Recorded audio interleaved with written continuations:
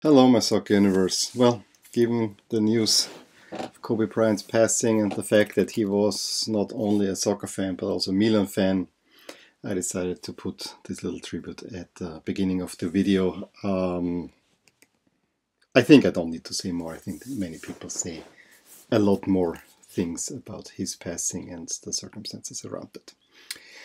I'm wearing for a second time in a row the Napoli jersey and I've been actually wearing this all day. So I decided for mm, to shoot this video first of my I want to make now shorter chunks of roundup videos. Uh, so I'm gonna do today uh, Serie A and La Liga. You get of course also a what to watch video. And then we'll do uh, the other leagues tomorrow and uh, let's see where, where this goes. Of course, in my what to watch for this weekend, I completely missed the fact that FA Cup is played instead of Premier League, but I want it later. Let's talk Serie A. The weekend started wonderfully from my point of view and also from Kobe's point of view. Uh, with Milan winning 1-0 at Brescia. But if you saw that game, I honestly have to tell you, this was one of those where you don't know how you got the win. Um, Milan started well, but then there was a uh, was a period, you know, had some minor. It was not a very open. It was an interesting game, an intense game, but there was lots of mistakes and not very um, good overall. Um, However, it took Brescia about 20, 20 minutes that they actually got a little bit more dangerous and played over the sides and uh, caused Milan all kinds of troubles, uh, especially Torregrossa, I have to say. Uh, and yeah, I felt this is a this is much tighter than I'm comfortable with, to be honest. Um, and then just before I have Ibrahimovic misses a sitter. I mean, he is free in front, front of the goal. He just has to put the foot differently. It's 1 0 Milan. At that point, Milan had a little bit got back control, but just a teeny bit. All changed in the second half. Um, I have to say, Brescia in the first 20, 20 minutes of the second half completely would have deserved to take the lead. I think they took the lead, but it was chalked off uh, because of offside, so a little bit luck there too. But uh, I really cannot tell you how much I thought that Milan is going to lose this game. I was even telling, uh, I was even telling my wife, this game is making me crazy. Milan is going to lose this one, and I felt gutted because this is actually one of those wins that you have to get because it's the last place team, even if you're away from home and even if they are, you know, they're not really rivals because the fans actually like each other. But yeah, Leao uh, comes off, Rebic comes on, Krunic uh, comes on for Calhanoglu a little bit later. Um, you know, all kind of things that uh, small adjustments. But uh, when Rebic came on, the game shifted back a little bit towards Milan's uh, way, uh, and then suddenly they get the goal again through with one good attack. And you know, you you you see he's looking again. How can I find find a position? The ball falls in front of his legs and he puts it home. Uh, he scores three goals in two games now, and yeah, Milan is thanks to him back on track. Then they made kind of you know try to keep the ball away. They had some chances to maybe make it even two, but honestly, overall Brescia would have deserved a point out of this one. So uh, I gotta be honest, I'm happy with the win. Uh, also, nice to see the black jersey sound a little bit popping up more often. Um, I actually think it was a good idea for Milan to play in black because I thought, yeah, you could play in red and black, but then with black pants, and then rather play in the whole black kit, honestly. Saturday didn't see much, and I have to say a little bit unfortunately. I saw that Spal uh, was losing at home to Bologna 3-1, and I was thinking about Fiorentina and Genoa, but ultimately decided to watch some Bundesliga highlights. Nil-nil. Uh, that's how the last game of uh, last season was also nil-nil, and that is what scared me off and seemingly I was alright. I didn't see any highlights. I was briefly thinking about watching Torino Atalanta uh, and when I switched over to watch at halftime, it was 3 0, and then I didn't. Uh, a little bit later, saw it's 5 0. Didn't see really what was hap- happening. I was completely flabbergasted when it was 7 0 for Atalanta. Atalanta is free flowing. Absolutely. I mean, it seems like um, either they get caught up or someone is giving them a little bit contra, but if they get rolling, they roll over the opposition.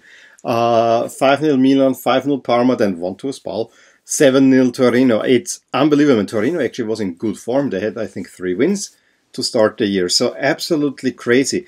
Ilicic, Gosens, and um, a penalty by Zapata make it clear for, uh, in the first half. And then within a minute, 53rd and 54th, Ilicic adds two more.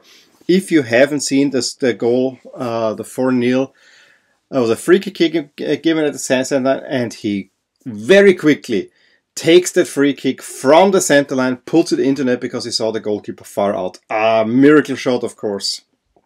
Um, Papu Gomez is cleaning his boots after that one. Uh, he makes it shortly after one. Again, assist from Papu Gomez. Uh, the 5 0. Muriel comes on and adds also in the 86th and 88th two more. Absolute utter destruction of Torino and I think Atalanta. I said it today at work because no one, uh, you know, Atalanta is not on your uh, radar screen here. And I said, you really, really, really, really should watch Atalanta if you can. I should really, really, really should have watched Inter Cagliari, but we had my birth, my daughter's birthday party. In the first one, the next one is uh, uh, next Sunday, so probably won't see much there either. Inter Cagliari. Uh, it was a game that Inter had more or less in the bag. Uh, Lautaro Martinez gets uh, an early goal to make it 1 0. No, early 20, 20, 20, 29th minute. But, you know, Cagliari kind of tries to find their full footing in. they started so brightly and now it's kind of going in the opposite direction. Nainggolan was deflected, gets the equalizer at a point where I think Inter should have made it two already, and then almost gave up that uh, singular point, and you could see the frustration of Inter's players, the third draw looming um, in a row. And Lautaro Martinez completely lost his plot at the end, where uh, he has a he thinks he's fouled. The referee waves on. He goes at the referee, gets a yellow, cannot calm down. And I have to say, this is absolutely his fault. Uh, gets a second uh, yellow or, or, gets a straight red and sent off. Potentially even misses the derby. Now it, it depends on the report. Uh, if he's out two matches, he will miss the derby. Um, the other thing that was infuriating to, to me, and I saw this already at the Bayern game, now all the big clubs, because we have so many fans in China, we need to put up uh, some Chinese messages to wish you a happy new year and so on and so on. And if it was genuine, I would be okay, but everyone is doing it and everyone is selling these jerseys and everyone wants to make money. This is just a money move. And Inter yesterday was wearing even Chinese lettering on the back. This is not cool to me. This is absolutely not cool. Don't how how how to say I always feel this is a game that's played in Europe. I welcome any outside fans, but you have to come here. Don't cater to them, especially with the pretense of making money. This drives me nuts. Now, of course, they will auction off those jerseys. Uh, Juve doing the same. Milan is doing the same. It drives me nuts. It drives me nuts. This um, bending over backwards, backwards, especially for uh, Asian money. It's just we need money and we do everything about it. There's no ulterior mold, there. It's actually uh, dishonest to the Asian slash Chinese fans, but it's also dishonest, I think, to European fans who are still the core basis. I'm saying this as a Milan fan that has never been in the Meazza uh, stadium but I follow Milan. I'm not as much of a fan, or you know, I don't feel because I'm not from Milan. So there, there's there's an additional one, but I'm at least an outside fan. But I wouldn't expect them to uh, for any Austrian hol- holiday that they suddenly have something there. And the same goes for there. Um, drives me. On, on, on, honestly, just bending over backwards. But all the big clubs in Europe, the smaller ones don't even do it. The big ones do it. Parma Udinese saw a little bit. Udinese was quite pressing to get a goal. Even got a goal that was ruled out, but they lose 2-0 in a kind of monochromatic match. Sampdoria Sassuolo is goalless. Hellas gets another win and actually moves very much into the middle of the table. 3-0 over Lecce. And then the Derby della Capitale. Cleared my schedule. This is a must-watch. Um, and when you saw the Tifos, there was the Roma one, which, yeah, you know, the Olimpico is not that great for tifos to to be honest, but you know with the uh, flags and then I had the big Roma logo there, that looked fine. But what Lazio fans did, that knocked it out of the park. This is probably my favorite tifo of the season so so far, with the um, from the Sistine Chapel, the painting where God touches Adam. Wonderful choreography, absolutely wonderful tifo.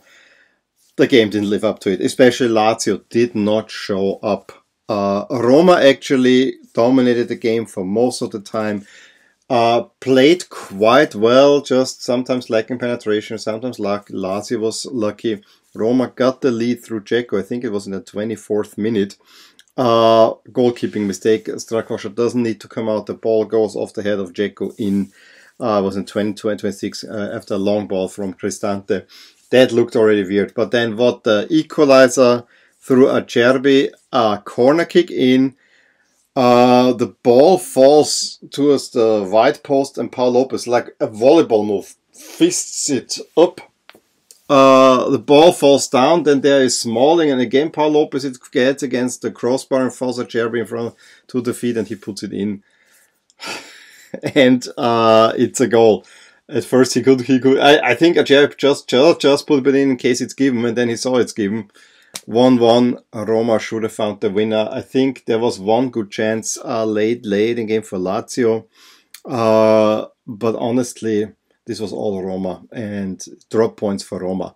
And Lazio's win streak and they already lost to uh, Napoli, and I thought this might actually be a little bit of wrench uh, in their in their motor. Um, now Roma uh, but again, it's a derby, so yeah, the next three games are a little bit easier. Let's see how this will go. But now let's see the, the, the, the situation before the big clash between Napoli and Juve. Inter dropped again points. Lazio did not win. Roma, of course, also did not win. So everyone chasing Juve did not win. With a win, Juve can sail away. However, there was Napoli. And this was an emotional game. This was Sarri's return as a Juve coach, or the first time returning since he has been Napoli coach. Um, it was again Higuain, although that uh, ran course. So I mean, people really riled up. There were more visitors to that game than there were for the game between Napoli and Liverpool in the Champions League. I think that speaks already volumes on the importance of the game.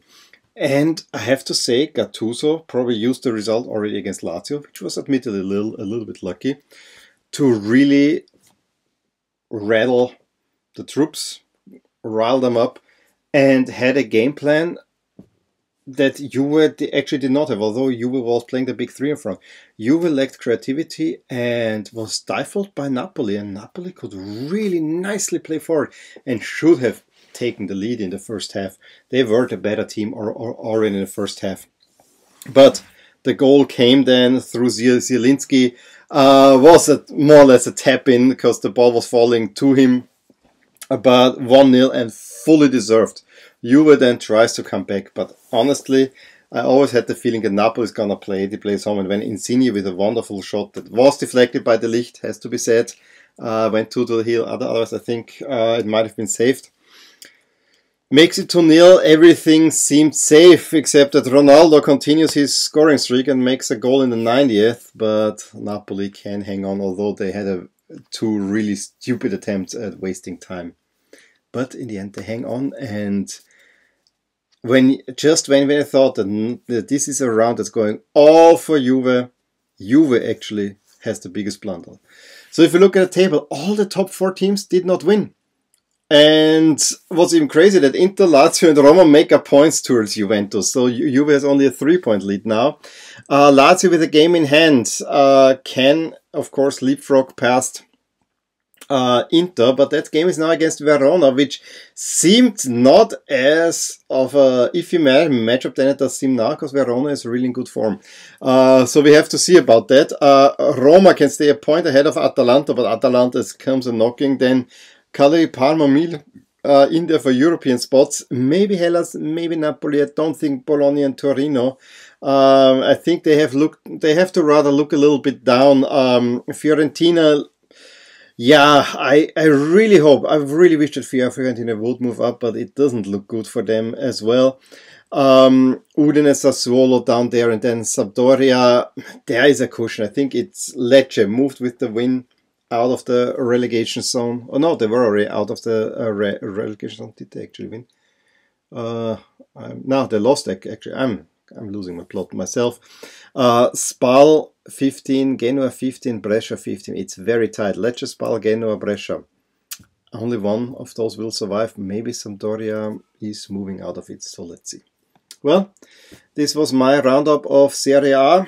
Give me a thumbs up if you enjoyed this video. Subscribe to my channel. If you want to see more videos like this, please drop a comment. If you watch Serie A, what you think thought about the games. And yeah, I will talk to you soon. Bye. Hey there.